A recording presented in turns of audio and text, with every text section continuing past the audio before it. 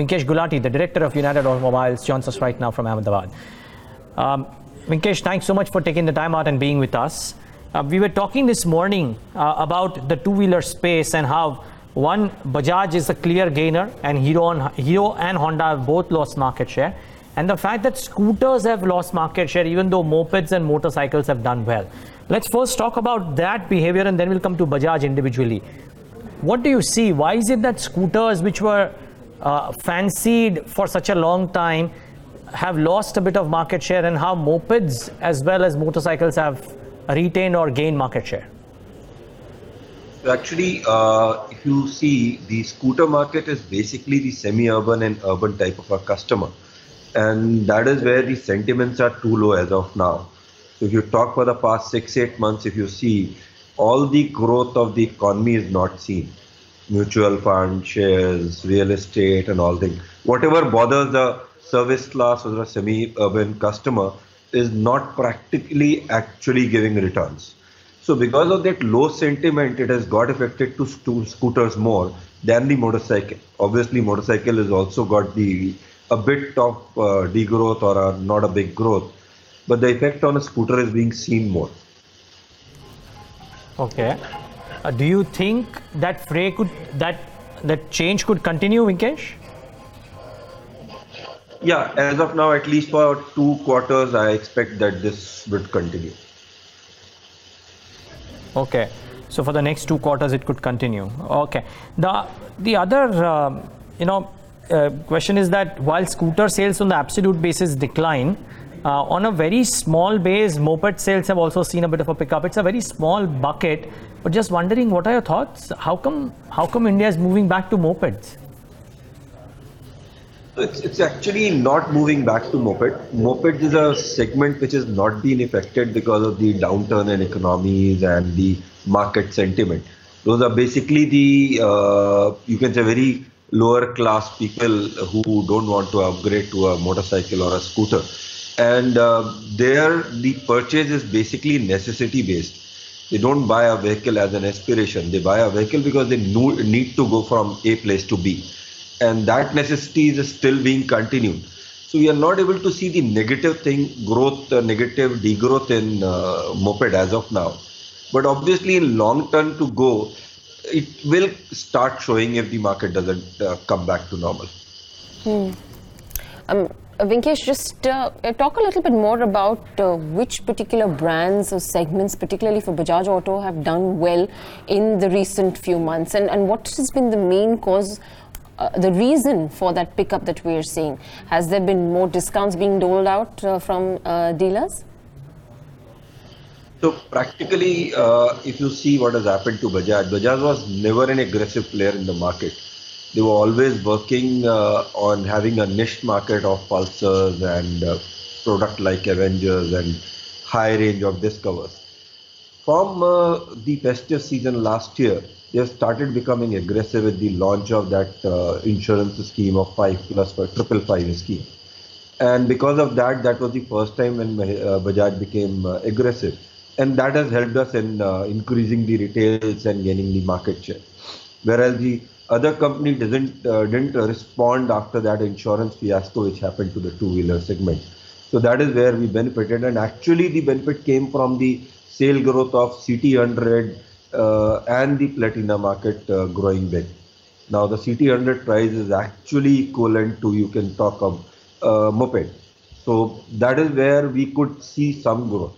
So overall segment is not growing, but in the segment Bajaj because of its aggressive discounts and the dealer being pushing the market so much, we are able to see a better market share in Bajaj.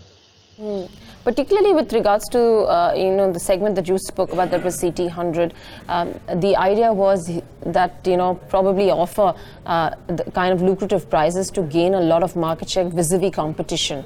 Is that something that's actually becoming a reality? Are you seeing that within the segment that Bajaj Auto is pipping over competition?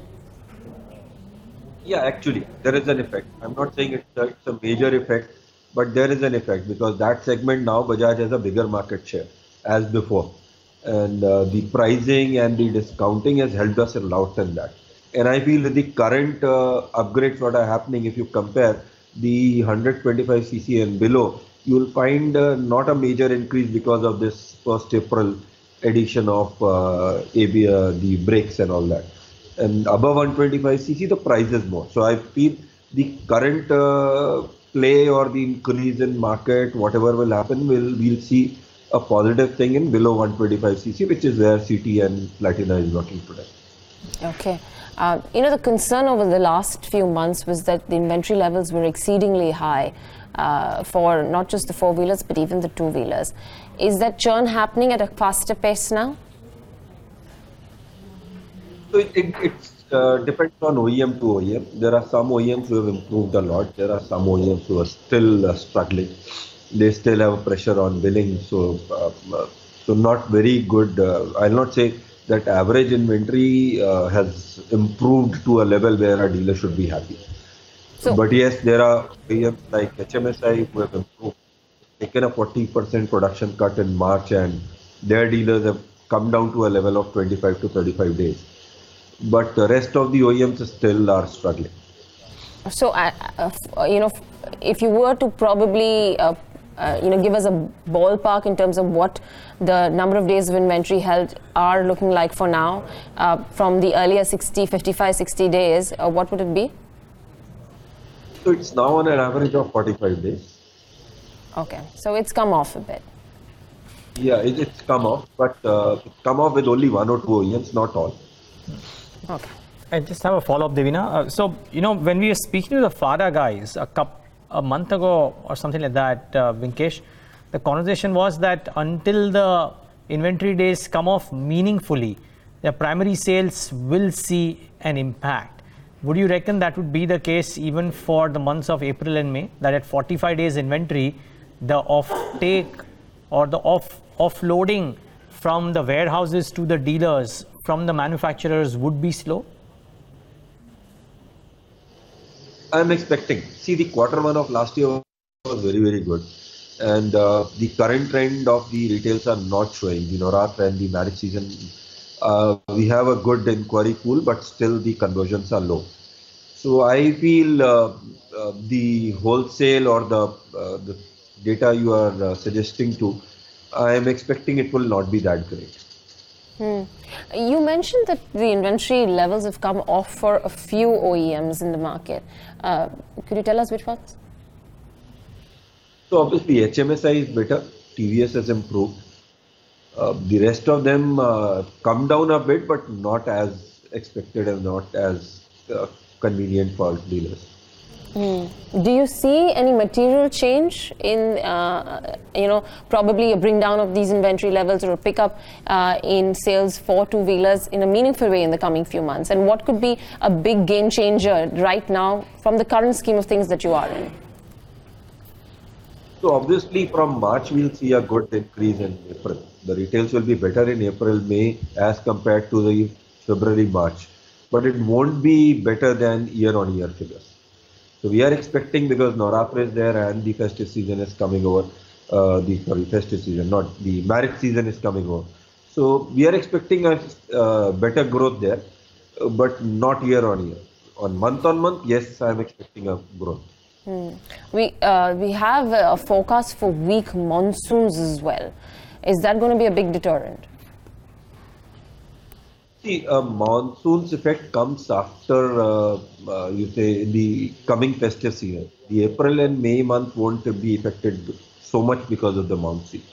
So yes, I see if the monsoon is weak, the year would be, it's already a challenging year that will become more challenging for the dealers in the market. Okay. Uh, Vinkesh, final question from my end, and that's on insurance. Now, the opinion is divided as to whether insurance really uh, hampered the growth or was it only the higher petrol bill um, on the tank that impacted. What's your sense and uh, what's the situation currently? See, actually, when the insurance prices went up, the uh, confusion was because of the uh, uh, guidelines set by the court and the IRDA and the uh, drilling down to the actual customer. So uh, I'll say the insurance triggered the problem, but that was not the only problem. Once the insurance triggered the problem, then everything came back. So that was the major issue because a two-wheeler increased the insurance basic by five to six thousand. No doubt it settled down to an increase of two, three thousand as of today, but it has still increased. The customer has the mindset that a vehicle has gone costlier to buy now because of those all those media hypes and the problems we had for a month where we couldn't find the uh, insurance company giving the exact scheme of 5 plus 5 and then the compulsory uh, accident insurance and all that. So the main reason for triggering this problem is insurance. Yes, but there are a lot of other things which hampered the overall uh, market sentiments. Okay. Vinkesh, we'll leave it at that. Thank you so very much for joining us this morning. Uh, great to get a perspective from you on the on ground realities of the two wheeler space.